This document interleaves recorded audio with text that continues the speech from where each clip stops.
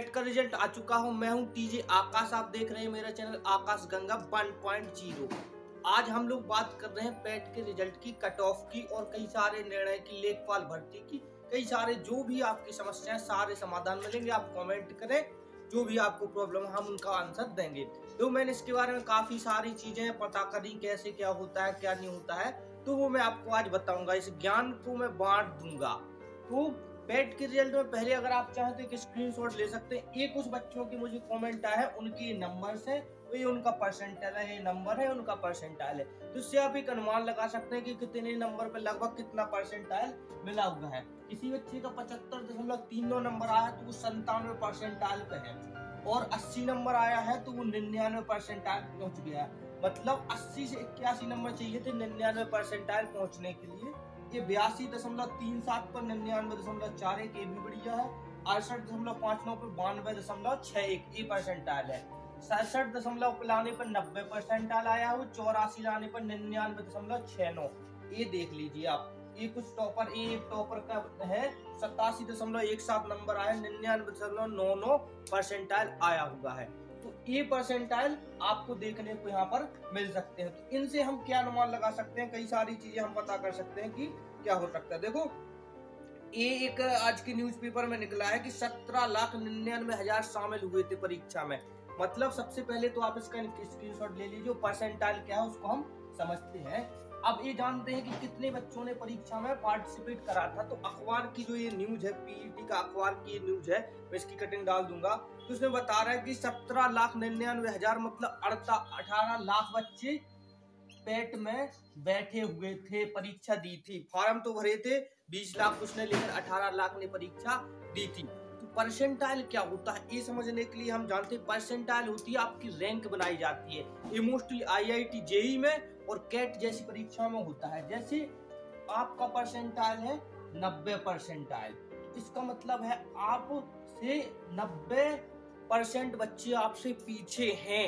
मतलब 18 लाख का 90 परसेंट निकाल सकते हैं। 18 लाख का 90 परसेंट निकाल लीजिए। जो भी आ रहा है, उतने बच्चे आपसे पीछे हैं। देखो, सैकड़ा, हज़ार, दस हज़ार, लाख, दस लाख, इसका अगर हम 90 परसेंट निकालें तो ये बन रहा। एक एक, दो, तीन, चार इक्कीस ढाई, सैकड़ा, हज़ार, दस हज़ार, लाख, एक लाख बासठ हज़ार की रैंक। बननी है, ठीक है?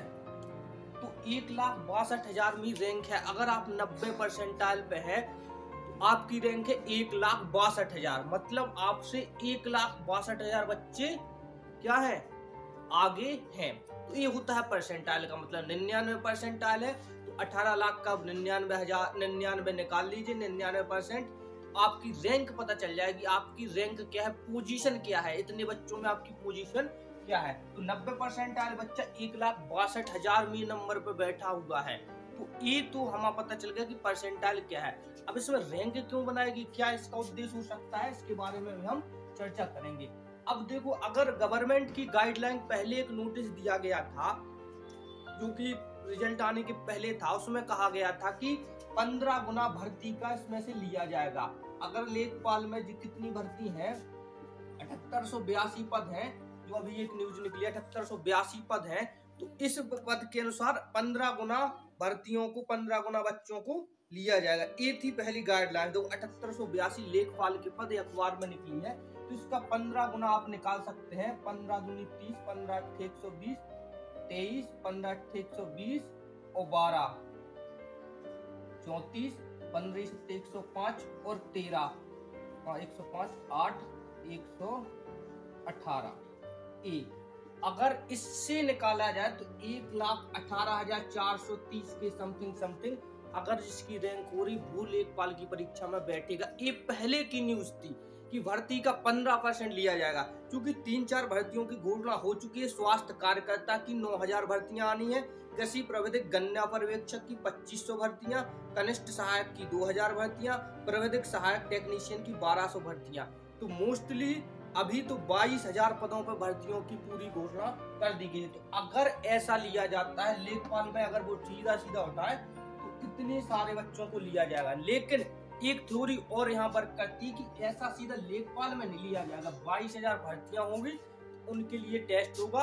अब देखो, जैसे अब उसमें जो स्वास्थ्य कार्यकर्ता है तो उन वो क्या लेखपाल में बैठेंगे? नहीं या जो लेखपाल बच्चे हैं, वो स्वास्थ्य कार्यकर्ता में नहीं जाएँगे?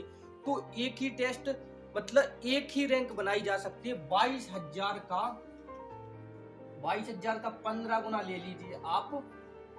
तीस, पंद्रह दूनी तीस और तीन, तैतीस। इसके अनुसार तीन लाख, साढ़े तीन लाख बच्चों को अगली परीक्षा में बैठने का मौका दिया जाएगा। ये सेकंड थ्योरी है कि इसके अनुसार आपको मौका दिया जाएगा। देखो, ये भी बिल्कुल सही हो सकता है।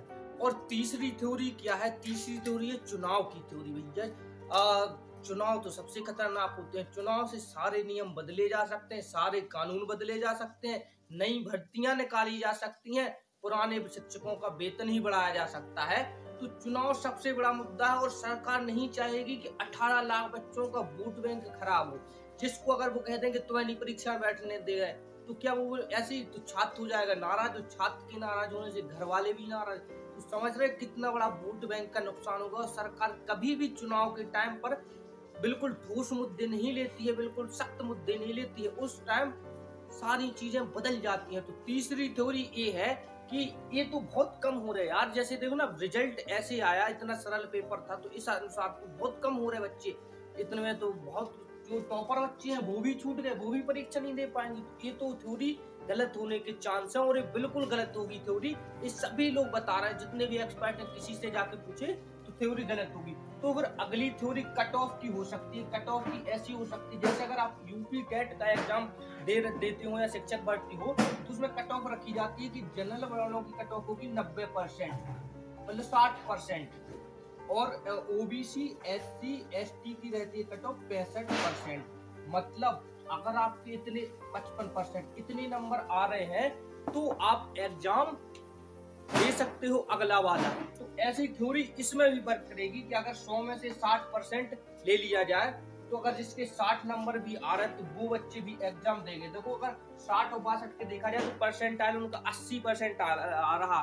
तो मोस्टली अगर देखा जाए तो जिनका परसेंटाइल 80 से ऊपर है 80 परसेंटाइल से ऊपर है, वो भी अगली परीक्षा देने के लिए एलिजिबल होंगे।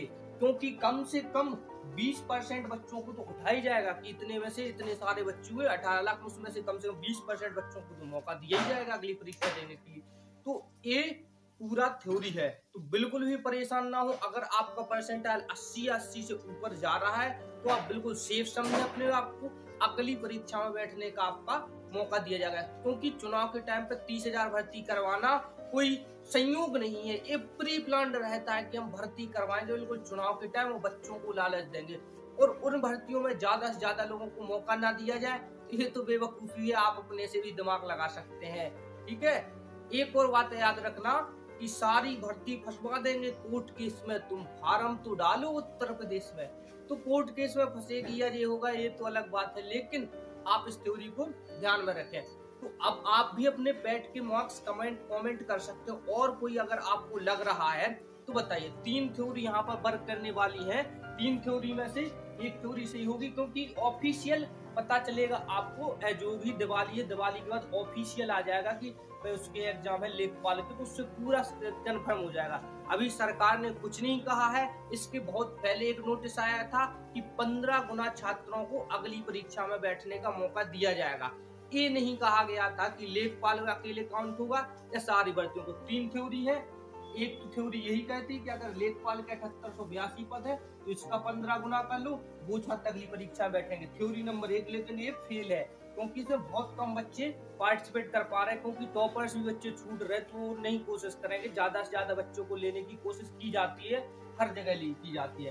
पैट करवाने का भी यही उद्देश्य था कि बच्चों को दो उसमें फंसाए रहे बच्चों को लगेगा कि भाई बस भर्ती में आ गए, हम आ गए आ गए, वो बूट में, चुनाव में बूट डाल के आ जाओ, भर्ती हो या ना हो। तो ये सारी राजनीति कहलाती है। दूसरी थ्योरी है कि अगर बाईस हज़ार भर्ती हो रही तो उनका पंद्रह गुना लिया जाएगा। तो इसमें साढ़े तीन लाख बच्चे आने के चांस है। और तीसरी भर्ती है कि कट ऑफ़ ली जाएगी। तो कट ऑफ़ ऐसी निर्धारित होगी कि या तो कट ऑफ़ इस तरह से निर्धारित करी जाती है कि जैसे शिक्षक भर्ती में रख दिया जाता है कि 60 परसेंट जिनके नंबर हैं मतलब 100 में से 60 सिंपल सिंपल पचपन परसेंट ओबीसी एस वालों को 100 में से पचपन तो उनको लिया जाएगा। लेकिन ये कट ऑफ़ ऐसे भी फिक्स की जाती है या परसेंटाइल से भी फिक्स की जाएगी कि जिनका परसेंटाइल अस्सी परसेंटाइल से ऊपर है, कम से कम बीस परसेंट बच्चों को तो लोग ही लोगे। चुनाव में क्या हलुआ बांटोगे तो बीस परसेंट बच्चों को लेना है तो अस्सी परसेंटाइल तो अस्सी परसेंटाइल से ऊपर होना चाहिए। और मेरे अनुसार ये थ्योरी वर्क करेगी और सबके अनुसार यही थ्योरी वर्क करेगी। तो मोस्टली अगर आपका 80 परसेंटाइल से ऊपर है तो आप खुश रहिए, अगली तैयारी कर सकते हैं। अभी कोई भी पेड कोर्स ना खरीदे, मैं ये सलाह दूँगा, जितने भी और चैनल है, वो ये सब वादे बताते हैं। पहले अपना बता देते कि नया कोर्स आया भैया, और ये भूतकाल का मतलब उनके कोर्स के नाम रख देते हैं भैया। निश्चय बैच, अनिश्चय बैच, सफलता बैच, असफलता बैच। लीजिए लेखपाल की भर्ती यहीं से निकले हैं पेट के सारे बच्चे। कहाँ भाग रहे हैं? तीन हज़ार अठारह लाख में से बाईस, अठारह लाख में से सोलह लाख हमारे यहाँ से पड़े हैं। बच्चों, हमारे यहाँ से पड़े हैं। व्यूज़ आते हो, दो हज़ार, चार हज़ार। कोर्स बेच रहे कोर्स बेच रहे। तुरंत आपको मिलेगा पचास रुपए में खरीदे ग्रामीण विकास की पीडीएफ कुछ दिन इंतज़ार करें, टेलीग्राम चैनल पे मैं फ्री में पीडीएफ दिलाने की कोशिश करूँगा। कोर्स मत खरीदे, क्योंकि कुछ नहीं पढ़ाते। यूट्यूब पे इतना मटेरियल आपको मिलेगा, उससे गाइडेंस लोगे, मैं सब बता दूँ कहाँ से कैसे पढ़ना है। तो आप मेरे टेलीग्राम चैनल को ज्वाइन कर सकते हैं। लिंक डिस्क्रिप्शन में आपको मिल जाएगी। और भी आपके कोई डाउट है परसेंटाइल समझिए परसेंटाइल यही होता है कि आप अगर निन्यानवे परसेंटाइल पे बैठे हैं तो मतलब आप निन्यानवे परसेंट बच्चों को पीछे छोड़ के आए हो, उनसे ऊपर बैठे हो रैंक लगा के। तो आपकी जो रैंक है, वो टॉप वन परसेंट बच्चों में है।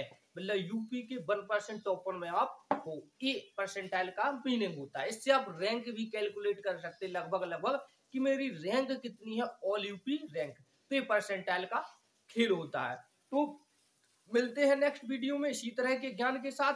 नई भर्ती आने वाली है। बाईस हज़ार का तो बिल्कुल फिक्स है। उसका कैलेंडर भी जारी हो गया है। यूपी पैट का तो आप जाके देख सकते हैं कस, कब, किसकी डेट दी गई। डेट चेंज हो सकती है। बाकी चीज़ें फिक्स दे रहेंगे। मिलते हैं नेक्स्ट वीडियो में। इसी तरह के ज्ञान के साथ।